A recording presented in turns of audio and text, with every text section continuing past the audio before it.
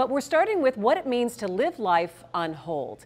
There are an estimated 6,700 DACA recipients, and that stands for Deferred Action for Childhood Arrivals here in Michigan. Over 700,000 in the U.S. still waiting to find out what their status will be. Democrats are expected to reintroduce the DREAM Act of 2019 in Washington this month. For Juan Gonzalez here in Detroit, it's been a long wait. It's those feelings of anxiety, of fear, of uncertainty of what happens next, you know, what can happen next and it's I mean it's it's like soul crushing to have to live through that. It's you have to live in the shadows.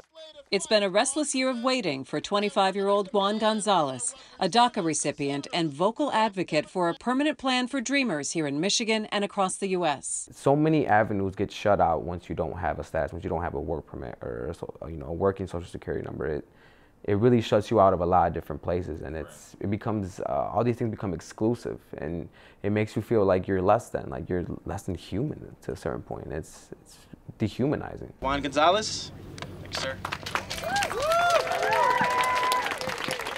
I want to thank everybody for coming out. We first met Juan rallying for immigration change in southwest Detroit back in 2017 after President Trump announced he wanted to end the DACA program. Juan was brought to the U.S. when he was just one year old, and this is the only life he's known. Thanks to DACA, he graduated high school, has a job at Quicken Loans in Detroit, and at this rally was one of the few dreamers to publicly put himself out there and pick up the microphone. With DACA, I was able to get a job, buy a house, buy a car, go to school full time, work full time. It's been a great time, honestly. It's been marvelous. But now that's all in danger.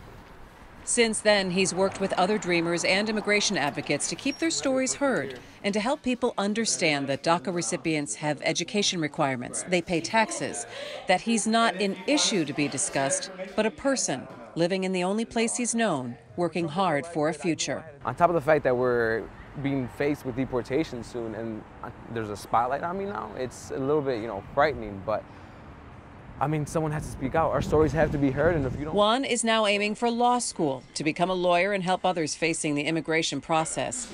His status is up for renewal in a year, and while he waits for that, his family got some good news about his parents' status. Yeah, some great news. They became permanent residents last year around November. So, and they, they went to Mexico for the first time a couple weeks after that. During those 20 years, they've been here the whole time.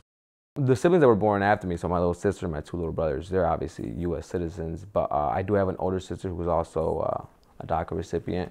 They can actually apply for us at this point as permanent residents, but it would take, you know, decades for the application to go through. So, and I have bigger plans. I'm not on a decade's timetable here. But it's difficult to plan a life without knowing how far down the road to look. Juan's status can affect his ability for student loans, a work permit, personal loans, and much more. The Supreme Court hasn't taken up the DACA case, which means any movement would have to come from Congress. There were hearings in D.C. last week. For Juan, uncertainty is his normal. We have to be, you know, a little bit realistic here of, you know, how what I can do based on my status, but that doesn't mitigate my ambition and my drive to, you know, get that law degree. I'll worry about my status once I get to that point, but that's not going to stop me from from my goals. I mean, it never has, and never. My parents always taught me, hey, you just always figure out a way. For more coverage on immigration issues, including a closer look at DACA, just head to our website at detroitpbs.org.